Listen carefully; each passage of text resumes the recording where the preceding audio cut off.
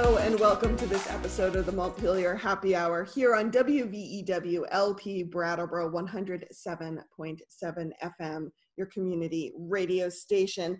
I am your host, Olga Peters, and for those who are new to the show, this is where Representative Emily Kornheiser and I talk about how things in Montpelier shake out for Windham County. And lately, we have been talking a lot about COVID 19.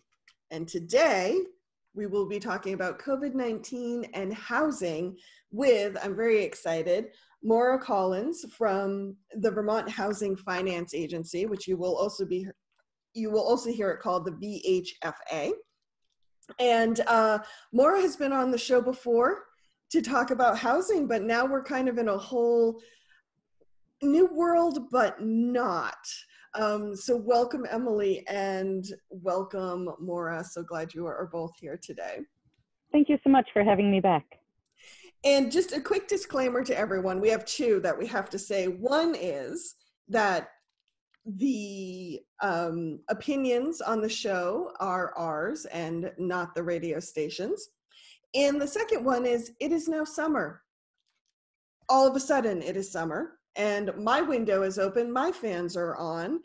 Uh, Maura has lost power, so she's on her back deck. Um, you may, who knows what we're going to hear today. So you have been warned. um, I want to start, Emily and, and Maura, with, with just um, some information from a housing uh, needs assessment study that came out from, and, and the VHFA was one of the, the partners on this study um, looking at housing in Vermont, and this report I don't think got a lot of traction, Maura, unfortunately, uh, because it came out in February of 2020, and we know what happened right after that. But I wanted to refer to that report because it talks about the needs we had in Vermont for housing before COVID. And some of the the findings I found interesting in this study was that um, before 2010, the number of homes in Vermont were increasing, basically. And now there's been a stagnation in recent years, and looking forward to 2025, there's been this stagnation in the housing market as far as new homes. Is that correct, Maura? Yes, it is. I, we talked a little about this last time I was on your show, and uh, we're seeing this across the state, um, and it's hitting southern Vermont especially hard. Where yes, we used to produce a lot more housing than we do now, and that uh, drying up of creating new units has a lot of reasons. Um, it's more expensive to build now. There's more that we require of what we build now uh, energy efficiency, for instance, uh, community connections that these are wonderful things that happen when you create a neighborhood or build a home is that you're putting in rec paths and sidewalks and lots of other amenities.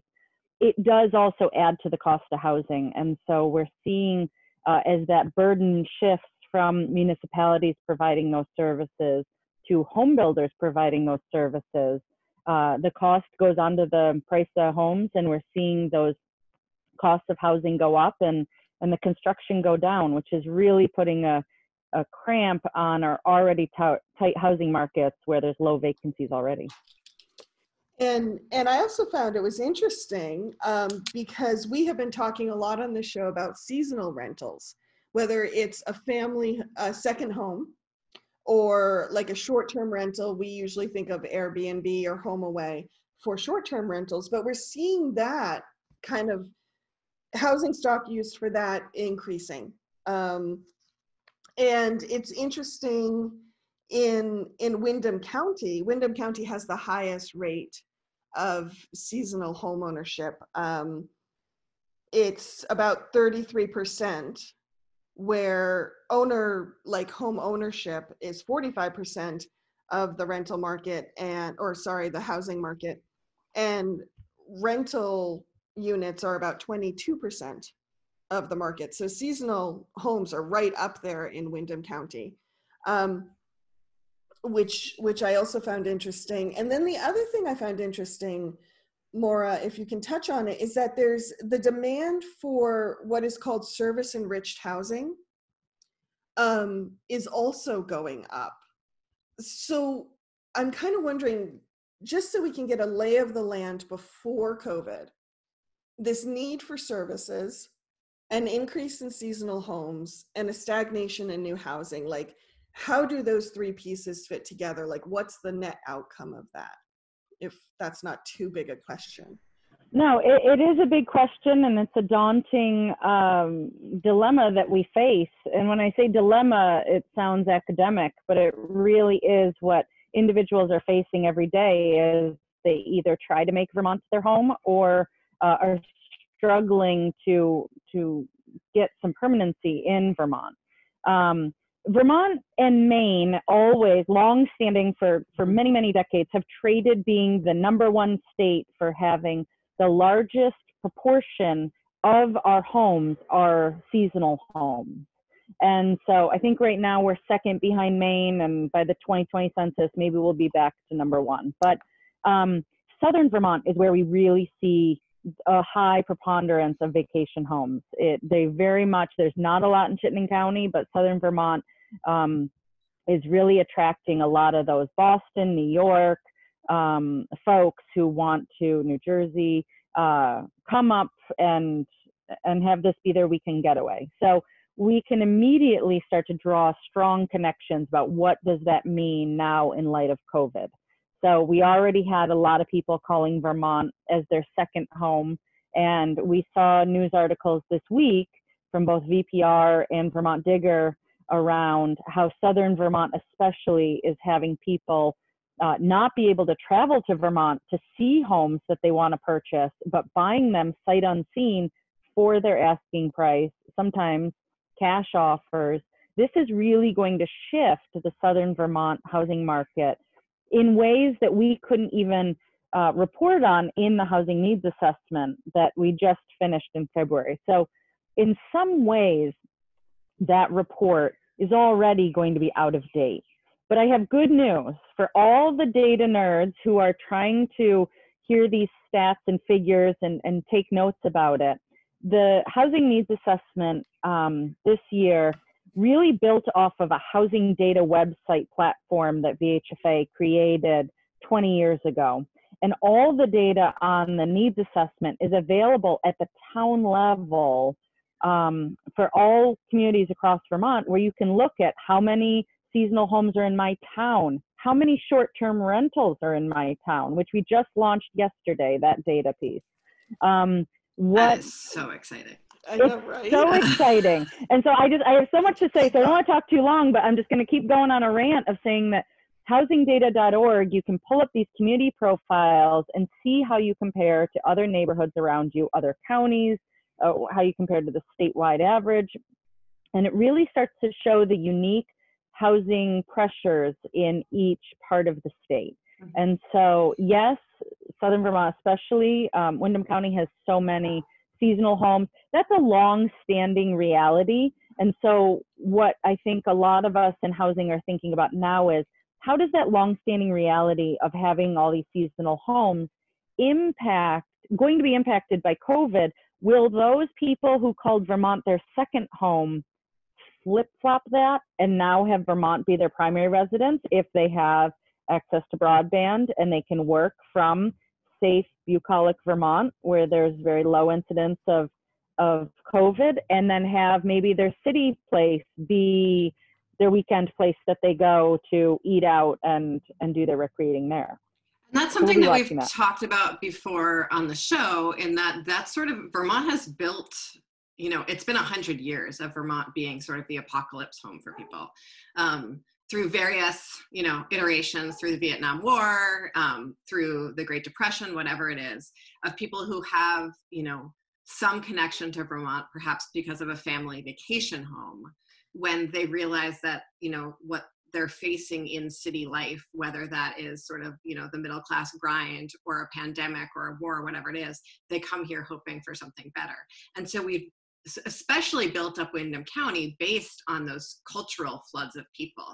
And so when people in Vermont or even people outside of Vermont say, oh, Vermont's so like Brattleboro and Windham County are so like cute and crafty and there's so much art and all of that stuff. A lot of that is because we've been, you know, flooded over and over and over again by people building second homes and putting their money and their cultural energy into that. And so that's, I don't want us to think of this as a new phenomenon.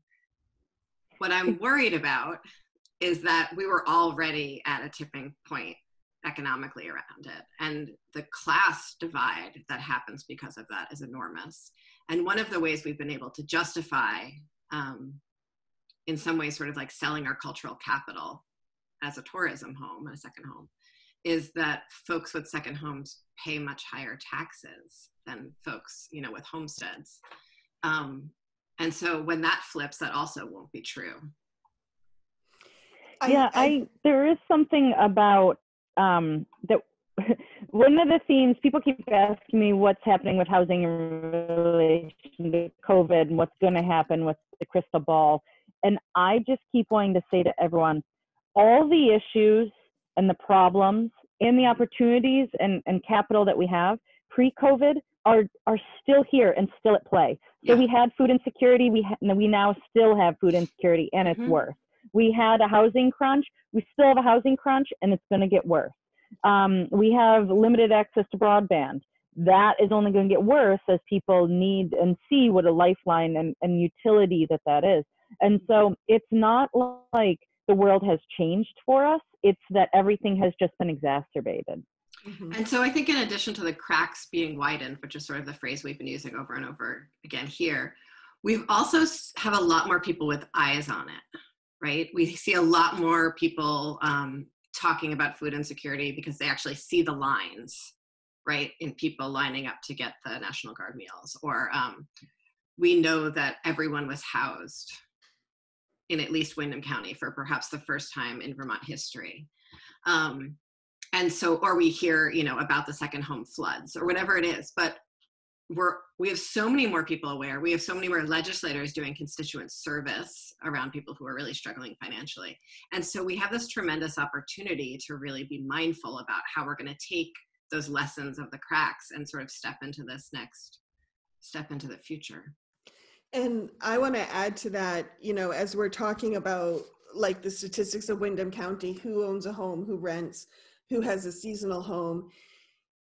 I, I, I also want to bring that concept of balance. Like it's not good or bad if someone owns or if they rent or if it's seasonal. It's about the balance within the community and and where the cost burdens are. Because one thing I think the um, report also found that I forgot about is that um, there's a, a high number of Vermonters who are cost burdened by their housing, meaning more than 30% of their income goes to rent and or mortgage, utilities, insurance, you know, keeping a roof over their head. Um, and so I think what we're seeing too with COVID and these widening cracks is we were already playing kind of Jenga eh, or don't tip the waiter. and and yeah now things are really flopping one way or the other um and i like what you said emily about more eyes on it. Um i wonder if both of you could touch uh talk about um the the fact that at least in windham county we did have everybody housed who have who have been chronically homeless or had very insecure housing.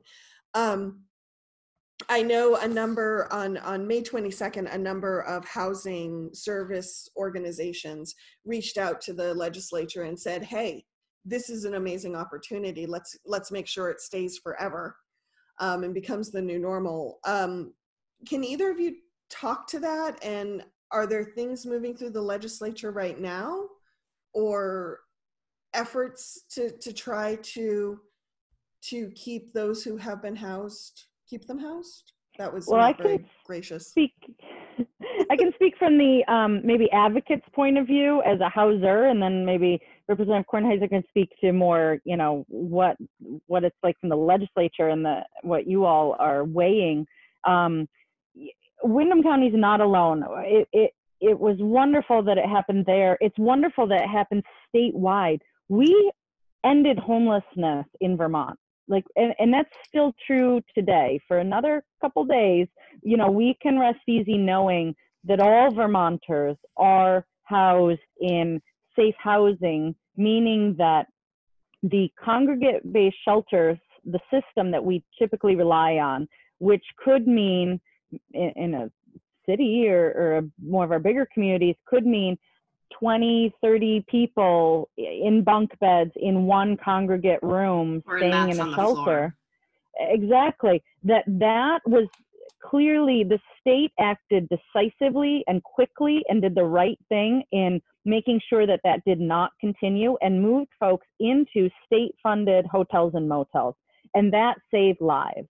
And that, as far as I know, there was one COVID positive case in the homeless community, uh, and that person did not pass away. I don't know anything more than that, but that is a tremendous um, outcome because in other states we are seeing rampant covid cases that just goes through shelters the way we fear it will go through nursing homes and other congregate settings and so uh, that was again decisive quick action on the state's part and the agency human services deserves a lot of credit to at what they did um, uh, in unprecedented times and now, so we're okay, everyone's housed, but we know that the hotels and motels are not going to remain um, permanent housing forever for everyone. They need to go back to their typical business models. And so, in doing that, what happens next? And that's what the state's grappling with. And there was some time that housing advocates, funders, the Agency Human Services, um, the State Department of Housing, uh, a lot of us were all working together on a plan of reimagining homelessness and what would a new system of care look like if it did not um, just warehouse people in shelters, but instead really looked at moving people into apartments immediately and then providing those wraparound services and the rental assistance that would make them successful in the long term then the realities of the fiscal pressures became more clear. And uh, now that that window shade is closing on this opportunity, it looks like in many ways. And so one of the one of the bright lights and the opportunities was the idea of using this coronavirus relief fund, which I always call CRF for coronavirus relief fund. This 1.25 billion dollars from the feds that came out of the CARES Act um, that was just manna from heaven of, of money for states to be able to um, respond to their COVID needs. Incredibly and, restricted manna from heaven. And yes, that's exactly it. And then, you know, when we, you know, $1.25 billion made our eyes sparkle. And then when you read the small print and found out that the money all had to be spent by December 30th, we realized that um, in communities where there there's adequate housing and there's just some rental assistance needed, then there's some real opportunities to um, to house people. But this rental assistance is going to be needed after December 30th. Some of these social services to support people will be needed after December 30th. And there's communities like in Brattleboro where there's not enough housing units and building a whole bunch of homes physically, the structures by December 30th is going to be tough, especially when a construction industry has been shut down and is now just slowly waking up. And so I don't want to end, before I pass it off to Emily, I don't want to end um, on a sour note though, because there are opportunities. There is this network of um, mostly nonprofit affordable housing providers who stand ready and willing to um, meet the needs of folks. And we've identified between 200 and 300 units, apartments across the state that we could access well before December 30th um, and move some of these folks who are homeless into these apartments and provide them with that rental assistance and services. And so we're looking right now at just what can we do in the next six months, but then we also need to have that um, longer vision and game plan for what will we be doing in 2021 because these folks who are in hotels now and will slowly be moving back to shelters and other settings are going to still need housing even after the CRF money may expire. Mm-hmm. So there are some proposals on the table around ways to sort of increase the housing stock. And those proposals, the proposals that came out of the governor's administration, put a real emphasis on both housing rehab and um, rent subsidies. And rent subsidies is sort of um, short-term rent subsidies for folks who are just struggling to pay rent right now and keep people housed is a separate conversation that I want to have, but I um, it's separate from housing homeless people. It's about preventing homelessness. Um, and so the rehab, which has been a was a proposal um, before COVID hit, and it's just sort of been re repackaged for COVID times, um, is help really helpful in some areas. It's really helpful in the Rutland area. It's really helpful in the Bennington area. It's really helpful in St. Johnsbury area. I always have to like imagine the map to do St. Johnsbury and St. Albans. Um, where it's not very helpful is Windham County. We, yes, there are some units that could be rehabbed, um, but not anywhere near um, as many as we need. We have at least 100 people who right now, today, are host, housed in motels on state money receiving social service receiving services from groundworks we don't have anywhere near that many units we've for the last many years at least four we've had folks who had housing vouchers could pay for units and could not find anywhere to live at all and often had to send their vouchers back. So the problem isn't even the services in the short term or the money for the housing in the short term it's actually just the units.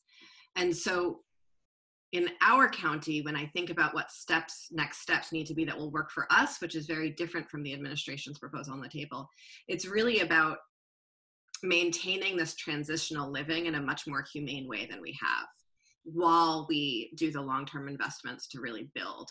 And so that's looking at what one of the proposals on the table from the housing advocates, not from the administration, is to send this money to communities so that they can adapt it to their particular needs. And in our community, that would really look like buying a motel, which is a huge, would be a way to have a huge outlay of money, meaning that we could spend the money before December 31st, which is how soon we have to spend the money. We could keep people with beds and doors and privacy so that they would have addresses and could, you know, live their lives and get jobs and you know take care of themselves and their families and um, which is just incredibly hard to do when you don't know where you're sleeping every night and you have to pack up all your stuff and um, i'm not going to get too deep into the incredible stress and hopelessness of not having somewhere to sleep. Um, so if we could do that those folks would um, we'd have long-term temporary shelter for people which is very different from the seasonal shelters which are both temporary in terms of you can't stay there during the day and they're not available in the summer and all kinds of other things. And then those folks would still be eligible for the longer term housing vouchers because if we house them right now in a permanent location they're not eligible for the um, federal housing vouchers which we actually have more of than we're using right now mm-hmm.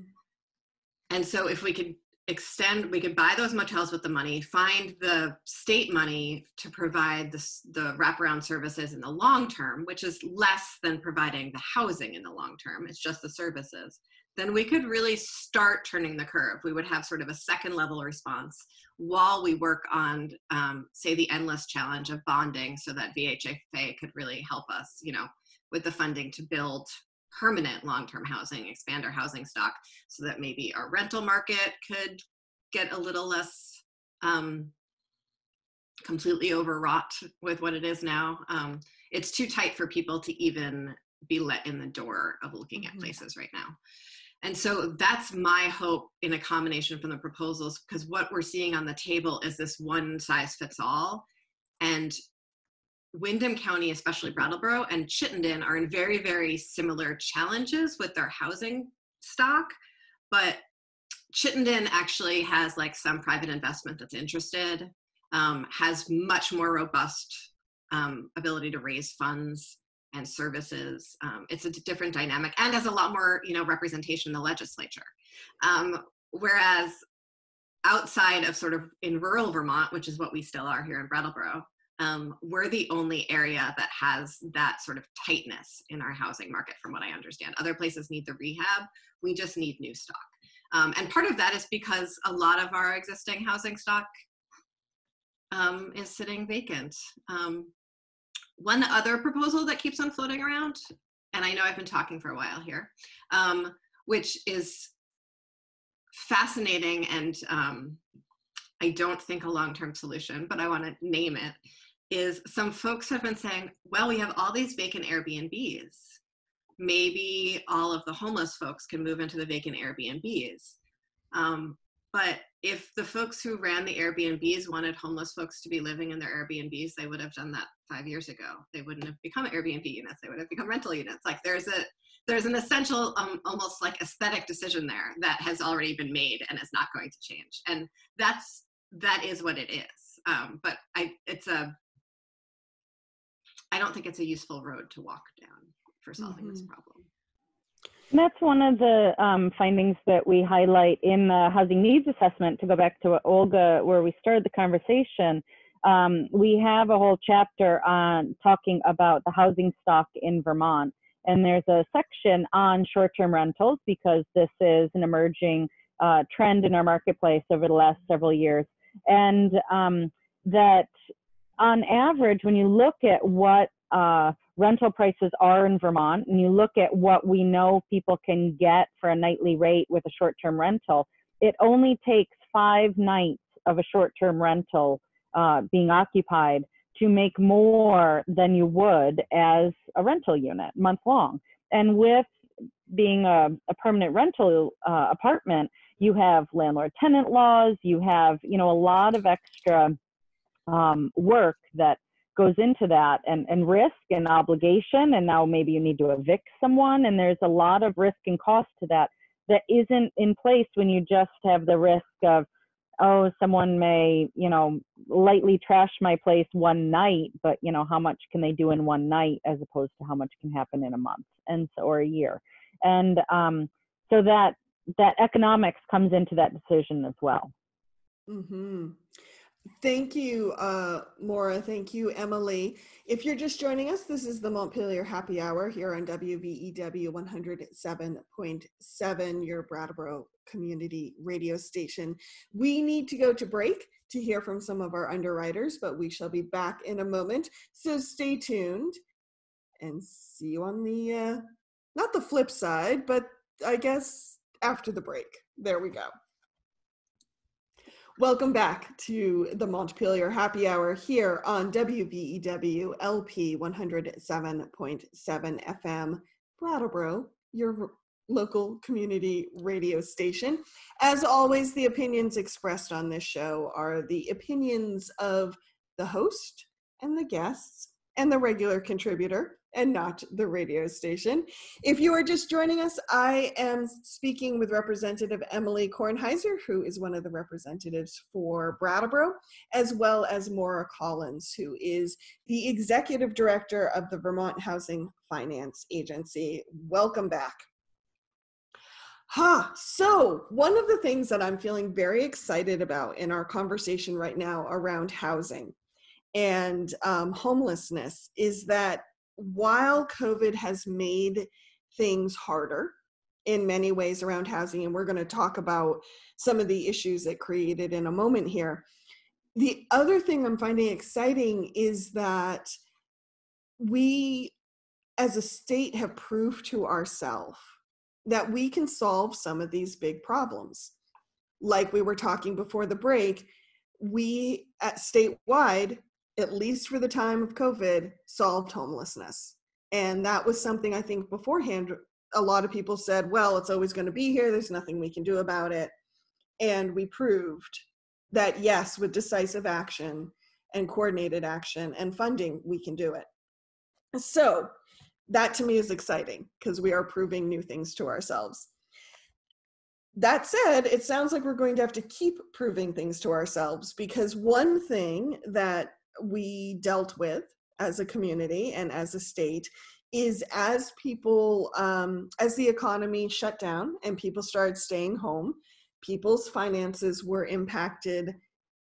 I think impacted heavily would probably be an understatement. Mm-hmm. um, and one of the the issues that arose for many people is how am i going to pay my rent?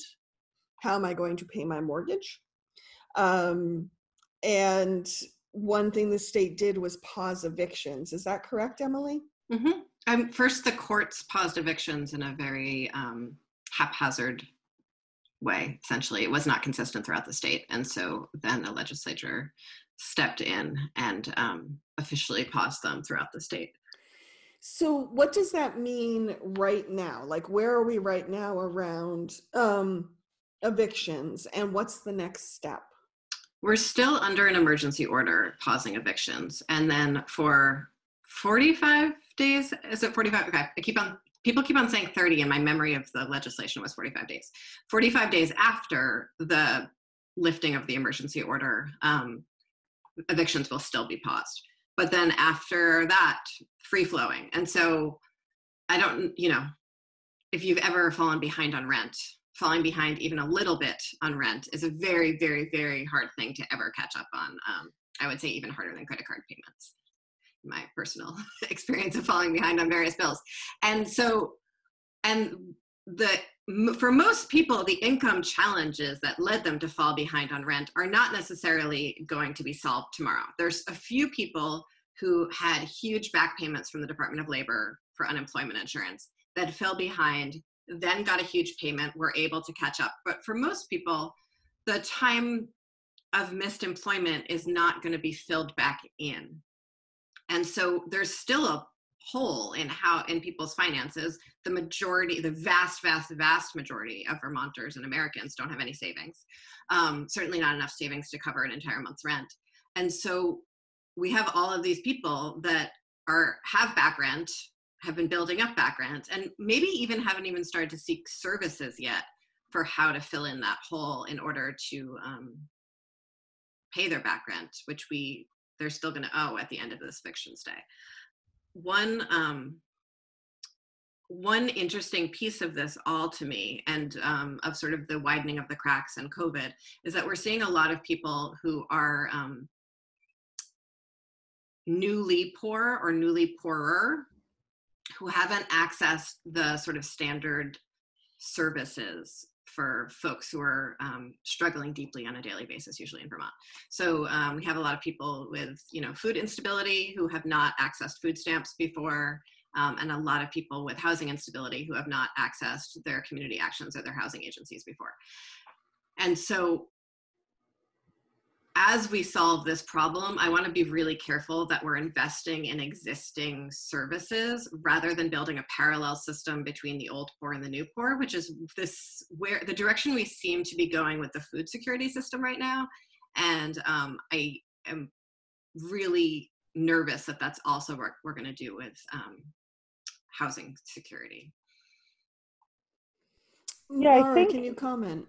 Yeah, um, I mean, this is an issue that I spend all my days and nights thinking about. Um, I want to be very clear that as a um, mortgage lender to rental housing properties, um, you know, I, like most, I, I, want people to pay their rent. When they pay their rent, then uh, their landlord can pay their mortgage, and when their mortgage is with VHFA, um, we can then pay our bond investors who we promised to pay when we issued a bond eight, ten years ago. Um, and bonds, as you know, are very safe investments, and so there's there's no ability for us to not pay those investors back, and so that flow is important to our economy in that way.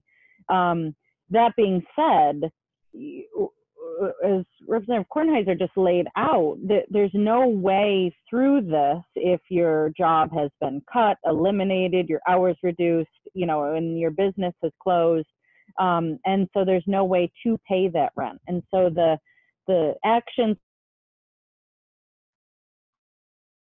Ooh. of the legislature to hold off and not worsen our public health crisis and having people become homeless during this time. Um, so I will say that the affordable housing community has been um, happily surprised that rent collections have not been as bad as we thought. In March, we were thinking the sky was going to absolutely fall April 1st, and it didn't. And then we we started scratching down deeper, and it and it made sense because mm-hmm. in affordable housing, you have people with rental subsidies like Section 8. You have people living on fixed incomes. You have a lot of elders. Elders' incomes didn't always change because they were already living on a fixed income like Social Security or pensions that um, didn't change with their employment status. And the third so, category is you have a lot of essential workers. Exactly. Right? You have a lot of people providing home health care. You right. You have a lot of people working at groceries, and so absolutely. Yeah. Yeah, and so those folks, as we know, are the backbone upon which our economy rests. And so we had a lot of people who may be getting overtime hours, you know, because they were um, working on the front lines in that way, custodians, you know, cleaning and things like that. So in some ways, the affordable housing folks again, it's not great. I don't want to add, it's rent collections are, are um, down, the receivables are way down, and, and um, it is a problem, but it's not as bad as we anticipated.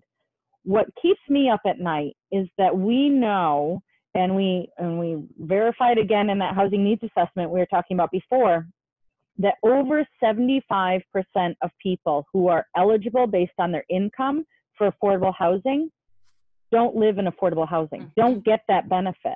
We do not have a right to housing in this state. We have we have other inalienable rights, but housing's not one of them unless you are incarcerated. And so, uh, what what's happening is that we know that 75% of people who are low income and should be eligible for housing assistance don't get it because we don't have enough resources in this state or federally coming from the feds uh, to support them. And so those folks are the ones who I'm especially concerned about. Yes. And uh, so I I do give a lot of credit. I think it's a wonderful first step what the administration has put out mm-hmm. in terms of spending um, $50 million of the coronavirus relief fund money on uh, homelessness prevention in this way and back rent and some short-term rental assistance is a great first step to support people for the next six months. And so the the timing is important. The quicker we can get this through the legislature and this program um, going, the less in a hole these households are going to be. And uh, if we can support them through December, that's going to be great. And maybe we can support them so that they end up um, not a lot extra, but just a little extra so that they can get through then January and February. Um, so often with these programs, we look at the very least amount we can provide people.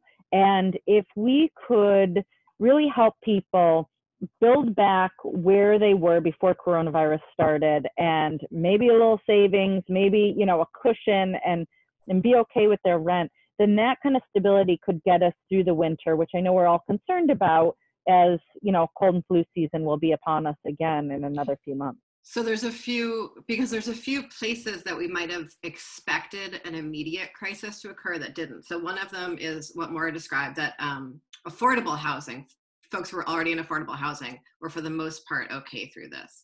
And then we have the fact that tax return, this happened at the same time that a lot of people get their tax returns, sort of um, folks with slightly more income than folks in affordable housing, but folks who are still don't necessarily have savings. Tax returns came in there was the Trump tax cut credit, whatever that check was. There was the check that came in the mail with the dollars in it. Um, and so those were cash infusions for people that the might. Unemployment, the extra unemployment money has been huge. That yes. has saved so many people. The extra unemployment money, if people got it, um, was huge. That's going to end fairly soon. And so we had these pieces of money that um, help. And then we have folks who um, and then some of those folks might have had a little bit of savings or some family connections and so that brought people into sort of a safety and stability maybe until now maybe another two or three months um, but then the crisis is going to hit because the economy is not getting better anytime soon. And so as it reopens it will reopen. It's not going to be we're not going to return to the past times. We are going to return to a we're going to move into a new time. Um, and so all of those folks who, again, I don't think have access resources, social services in a long time or perhaps ever, are going to need to figure out new ways to do that.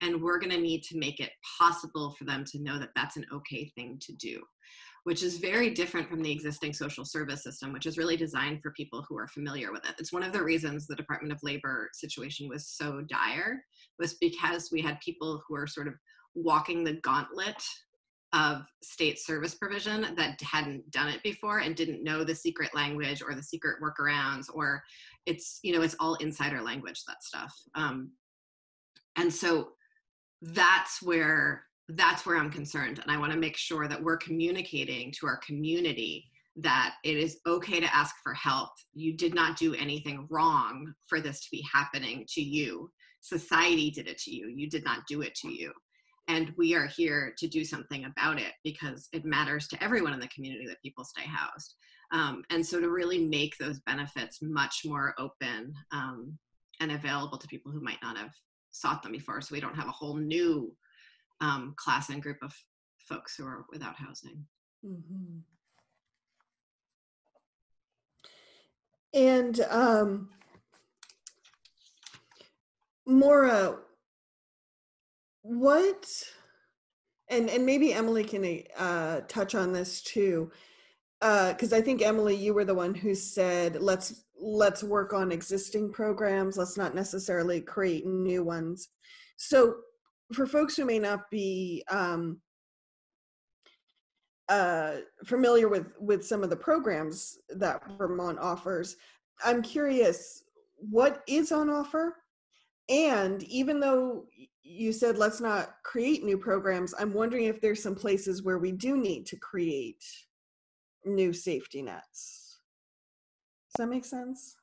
Yeah, the um there is and we was just saying a complicated world of housing programs that um, a handful of people understand and the rest of folks um, you know struggle to understand and, and we don't make this easy as housers. We have too many acronyms too many eligibility guidelines uh, we for instance i don't talk about income in terms of dollars per hour that someone may earn or even your annual salary. I always talk about it as what percentage of the area's median income do you earn and if you if you can tell me that, then I can tell you what program you qualify for. We'll talk about a metric that no one in the world understands and knows. So so we have not made this easy um, for folks. And then uh, you have things like benefit cliffs. You have things that um, uh, come into play when someone makes just a little more income that all of a sudden may make them ineligible. And so um, some of the programs that have been uh, working really well and that we'd like to really double down on at a time like this because they're known systems are to rely on the network of affordable housing providers who operate across the state in different regions. In the Brattleboro area, we think of the Windham Windsor Housing Trust. We also think of the Brattleboro Housing Authority. There's the Springfield Housing Authority and the State Housing Authority. Um, they are these organizations that are dedicated to serving um, the housing needs of lower income folks in the community. And they can do that in a, a, lot of different ways. Sometimes it's just that rental assistance that someone needs, that Section 8 voucher, and there has been federal money to bolster that program, which is great, and so much more is needed.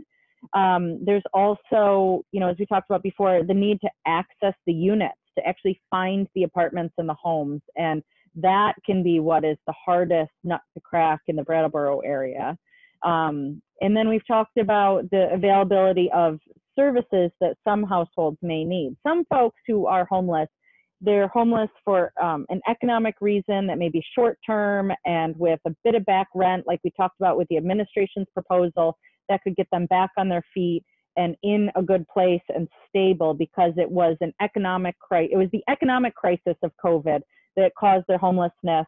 And as the economy hopefully rebounds, um, although I think we're being very naive about what that looks like uh, right now, that th- they may be okay. Uh, a lot of um, the programs that really need bolstering and support are the existing programs that braid together those three legs of the stool that are necessary of the actual supply of housing, the subsidy to make it affordable and the services to really support the households if they need it. Thank you, Maura. Do you so, want to add anything, Emily? Yeah, um, one of the interesting things about the way Vermont does business is that so much of sort of public services are provisioned privately through nonprofits, and we've talked about this a lot uh, here on the Happy Hour. Um, and often those services are sort of given to a specific um, class of organizations in each county. Um, sometimes they're called designated, you know, in the mental health world, it's called a designated agency. With early childhood, it's parent child centers. But the actual nonprofit that does that work is a different nonprofit in each county with its own board, its own functioning, and its own skill set. And so the um, payment for back rent, sort of subsidies and support around back rent, usually goes through the community action agencies. And each community action agency in the area is different from every other and has different skills and different capacity and different relationships to their community. But they're all connected um, to other housing providers, both homeless service providers and housing, low income housing providers like the Housing Brattleboro Housing Partnership and Windham Windsor Housing Trust in a system called coordinated entry. Um, and that's actually a table that everyone comes and sits at on a regular basis, talks about systemic problems and sort of immediate case issues, and gives sort of a no wrong door system for folks who are seeking services so that people don't have to be sort of referred from A to B to C to D to back to B in order to get their needs met, which is really, really important. One, because it gives us consistent data across the system. Two, it helps us highlight where the cracks are. And three, most importantly to me, like people don't have to walk this like terrible gauntlet maze situation in order to get their needs met when they're already confused and stressed. And so I want to be really careful that, you know, as new people are starting to enter the system, that they're going to have a no wrong door, that they're going to have people who say yes to them yes, we'll figure this out with you, and um, sort of partnerships in their community. So I think it's really important that as we deliver those housing subsidies to communities, even though it seems like just a little bit of a contract tweak, that it goes through our coordinated entry system and not just to one provider, because I think people seek services based on relationships, especially if they haven't sought those services before. Yeah, I'm really optimistic, Emily. It, I agree with you that that should be the goal. I love the coordinated entry system. I wish it were more really underlining your point of um, the unevenness that we see in different parts of the state. Um, I wish it were more consistently strong across the state. You're right that in Windham County, you guys are doing a great job in that regard. I, that's not the case statewide, which really concerns me as a statewide entity. Um, and so but um, one thing I'm optimistic about is that the uh, right now we know what the state wants to do with the coronavirus relief funds as it relates to the Agency of Commerce and Community Development. They were the first department to come out with um, their solution from the administration of um, of how to spend this money, and it focuses on uh, the funding needed for small businesses on tourism and marketing, and on housing, because those are the departments that fall under the Agency of Commerce and Community Development. We are still waiting to hear from the Agency of Human Services about what their plan is. So, as we talked earlier about the 2,000 Vermonters who are living in hotels and motels and watching every day we wake up and the calendar flips another page of the day, and we know that we're getting closer to a time when those hotels and motels won't be available. The Agency of Human Services is very actively working on their plan to transition people out of those hotels and into something different. And I don't have any insider knowledge of what's coming, but having listened to the testimony of um, the Agency of Human Services so far, it's clear that they are going to be investing heavily in housing navigation services. And so that's getting at what you were talking about, Emily. I hope of that no wrong door that really um, putting money into helping people access housing in a way that maybe historically hasn't been needed because there's so many new people uh, who need this money. So in so I don't know um, what AHS's plan is going to be. I'm told that it'll be available. I hope in another week, maybe. I mean, I think they're it's very um, it's at the top of uh, what they're working on. They uh, this is their top priority. Uh, and I think it's going to go towards the kind of things you're talking about, which which would be good because that is needed. So we have just about five minutes left, and I know Maura needs to get to another meeting.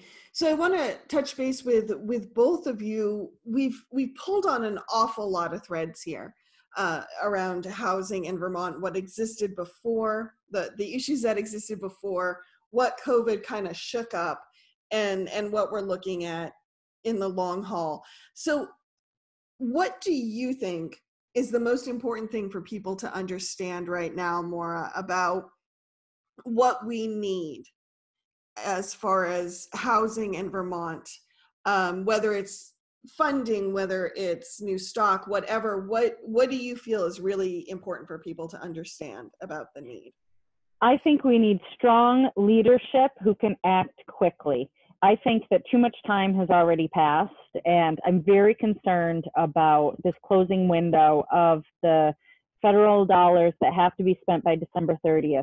We had a real opportunity to transform our homeless delivery system, and because of uh, funding limitations, we're not going to, well, people have chosen that we will not be um, uh, transforming that system in the way that was possible. And um, and so what we do need is for strong leaders to act quickly to start moving us towards something then. If we can't close all our homeless shelters and give everyone an apartment the way they deserve, then we at least need to have a clear, decisive plan of what we're going to do for these 2,000 Vermonters who are in hotels only for another couple weeks. And there are, as we spoke to before, several um, proposals out there, strong ones with broad-based support by all the nonprofit regional housing providers, the public housing authorities, the shelter and community action agencies. They've all signed on to these letters supporting this kind of uh, movement to give us an answer of what we can be doing because we are all ready to activate. We are standing at the starting blocks of a race you know, with our butts in the air, just ready for that gun to go off. And we have been training for this our whole lives. Like we are ready. We have resources to deploy, partnerships, collaborations, the kind of uh, wonderful work that's been happening in Brattleboro between the Groundworks Collaborative and um, Windham Windsor Housing Trust and the police department and the municipal leaders and all this. I mean, we are poised for action. We just need someone to tell us that it's time to go. And so with that sort of signal, I feel like we can unleash wonderful things to help a lot of our vulnerable Vermonters. But without that, we're all just sitting there with our butts in the air, getting tired. Thank you, Maura. How about you, Emily? What do you think is really key for people to to take away from this conversation? I don't think I could say it any better than Maura just did. We we need to make decisions and we need to make those decisions based on what we are seeing in front of us to be the stark reality of our lives in Vermont. And we have solvable problems that we could just say, yes, we're going to solve them tomorrow and move forward. It's very rarely this clear in politics. And today it is, and yet we're still seeing um, some debilitating indecision in a lot of places of power and we need to we need to move forward and say that we believe in vermonters and we believe in our capacity to solve our problems here and we have the resources to do it for the first time. Well thank you. On that note i want to thank emily of course for being uh, the regular contributor and being here every week for the highlight of happy week. hour. Yes yes. Um, and Maura Collins from the Vermont Housing Finance Agency. Thank you so much for being on the show and sticking with it even when you've lost power and your neighbor is mowing their lawn next door and all your allergies are are working overtime because of the the flying flying grass, I guess is a way to put it. I want to thank you for joining us today. Thank you, Maura. Thank you so much. The Montpelier Happy Hour will be back next week on WVEW LP Brattleboro 107.7 FM at 2 p.m. on Friday. You can also find us on the Vermontitude SoundCloud page and the Vermontitude Facebook page. Emily, quickly just remind people where your open meetings are, your office hours, and how to how to reach you. Every Saturday morning at 9 a.m., I am hosting an open Zoom coffee hour session with the two other reps from Brattleboro, Tristan Toleno and Molly Burke. Folks can find contact information for that on my Facebook page under Emily Kornheiser or on Front Porch Forum or various other places it's floating around. Um, or get in touch with me at ekornheiser.org or ekornheiser at ledge.state.vt.us. You can also find me on Twitter or Instagram. And Maura, just quickly remind us where people can find the the new housing data. That yeah, a great resource. So it's a website through the Vermont Housing Finance Agency, but the um, web address for the housing needs assessment and all that great housing data is at housingdata.org. So you can find information, like I said, for every village, every town, county, and statewide. And there's hundreds of uh, data visualizations, which is what nerds call charts, um, that give you all sorts of um, housing market information and information about the population and their housing needs.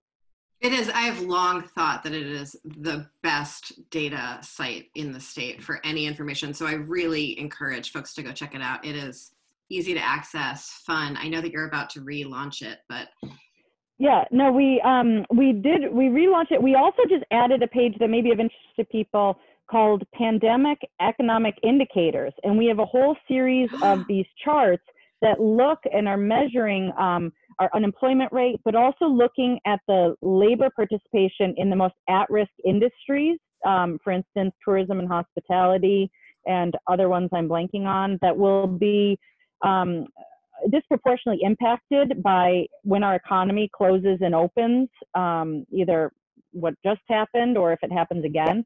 So there's a series, it looks at the cost burden of households. Um, so we pulled together all those pandemic related indicators onto one page so that people can uh, track that. And as of yesterday, we just launched the data about short term rentals where you can see um, how many short term rentals are in each community and um, find trends over time about what's been happening going back to I think it's 2014.